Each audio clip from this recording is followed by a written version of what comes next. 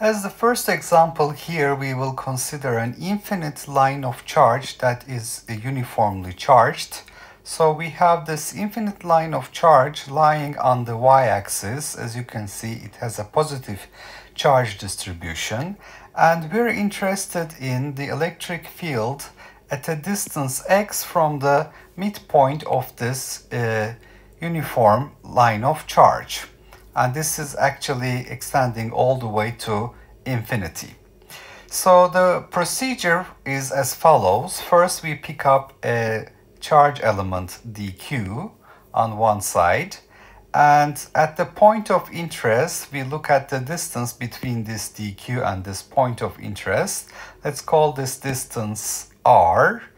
And we want to know the electric field due to this dq because we put here a test charge plus q. Uh, this test charge will be positively charged, so this dq is positively charged. The electric field will point away from uh, this uh, test charge placed here. So that will be our electric field dE due to this dq.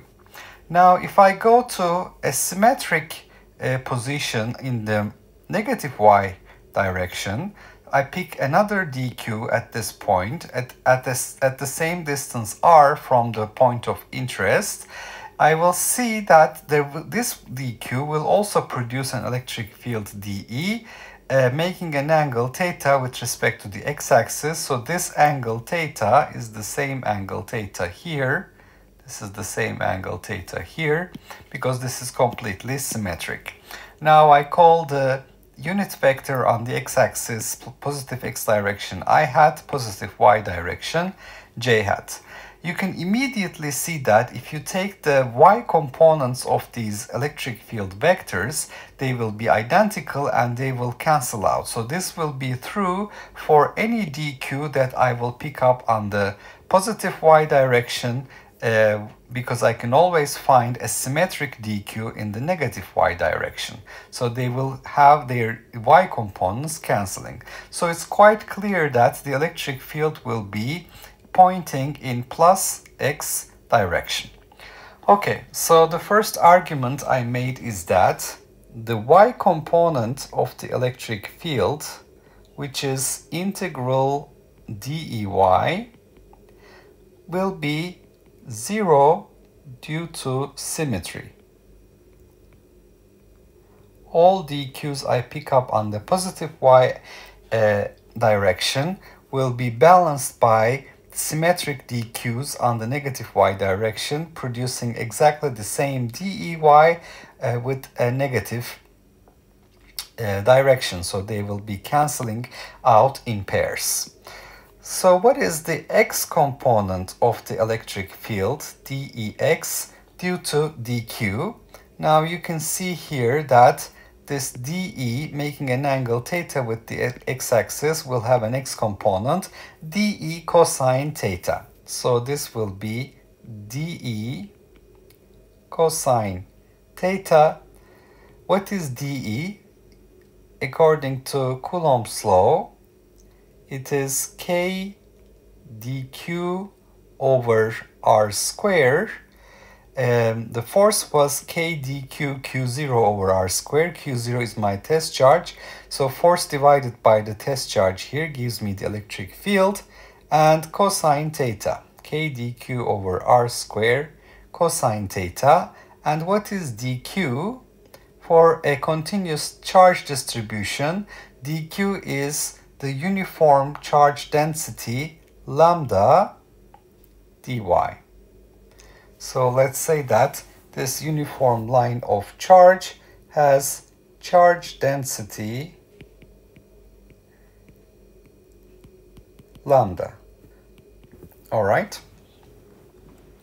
So dE will be then uh, k dq, which is k times lambda dy, k lambda dy, which is dq divided by r squared. Now you can see that uh, tangent theta from this uh, right triangle here will be equal to y divided by x. So let me note here that tangent theta is y divided by x. And if I take the uh, differential of both sides, secant square theta d theta is going to be equal to dy over x. All right, so x here is not something that is changing uh, with position on the um, on the line. x is a constant here. That's the distance from the midpoint of the line to the point of interest. And uh, so uh, when I take the differential of y over x, since x is a constant, it's dy over x. So this tells me that dy is equal to x secant square theta d theta. And on the other hand, y is equal to x tangent theta. Now the distance between my charge element dq and the point of interest r is part of this triangle. It's the hypotenuse. So I can see that r square must be equal to x square plus y square.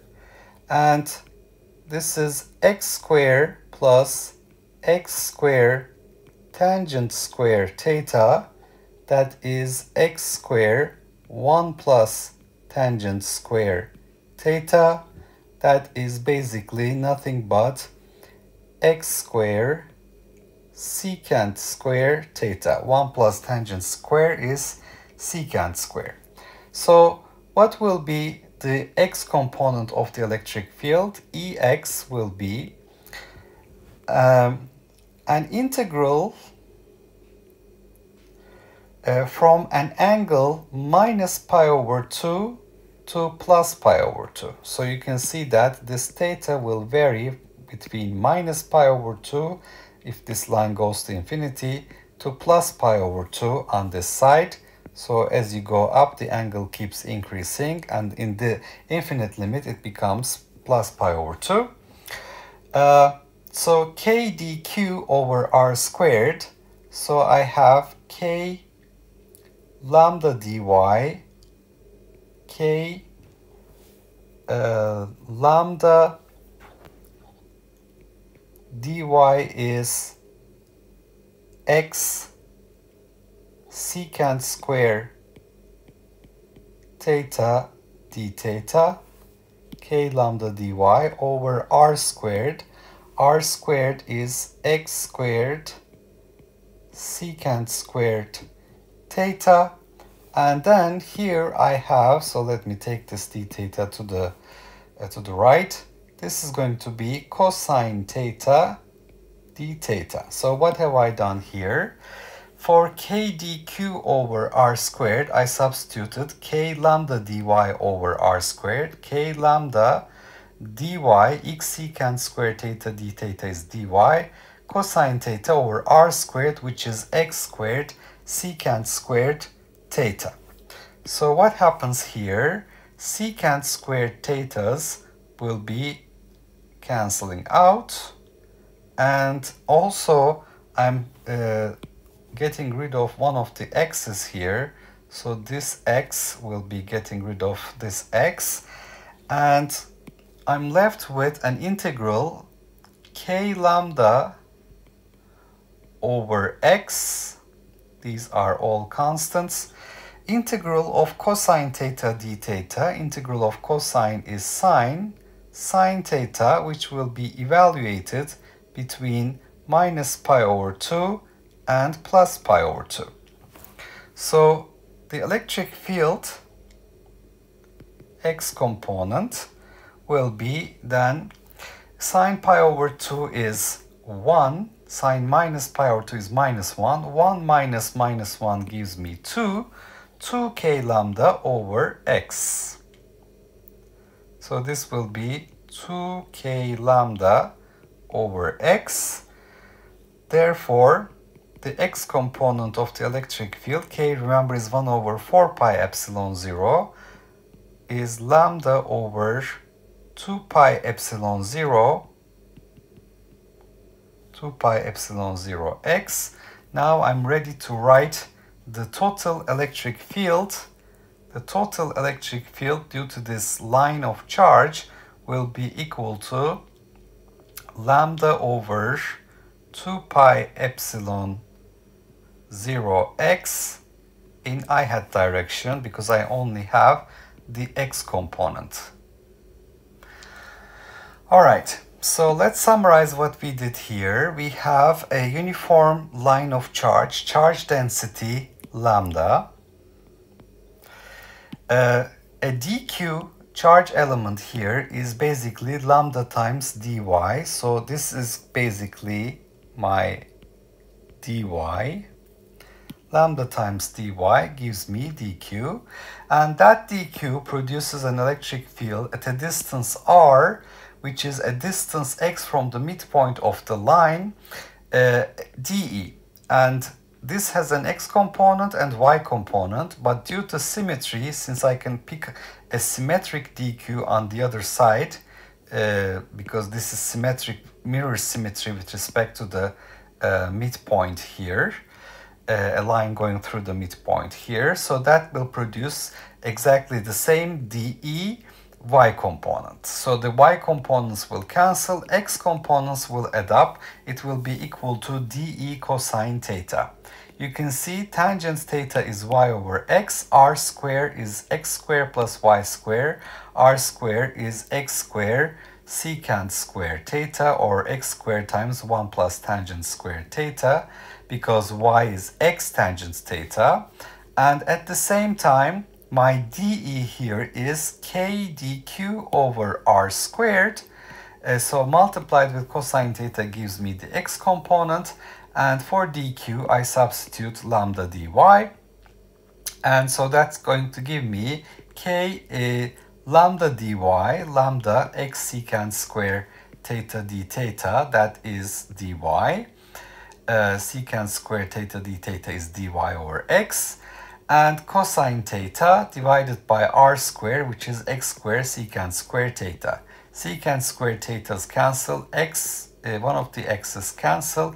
i am left with k lambda over x integral of cosine theta d theta which is sine theta evaluated between minus pi over 2 and plus pi over 2 y minus pi over 2 and plus pi over 2 as I go far away this angle keeps increasing and in the infinite limit this is basically approaching minus pi over 2 and here it's going to be plus pi over 2 okay so the angle will be uh, increasing like this, let's say. Uh, so we have, therefore, uh, sine theta evaluated at pi over 2 minus sine theta evaluated at minus pi over 2 gives us a 2. 2k lambda over x. k is 1 over 4 pi epsilon 0. So it is lambda over 2 pi epsilon 0 x. So we can write our final answer electric field lambda over 2 pi epsilon 0 x in i hat direction.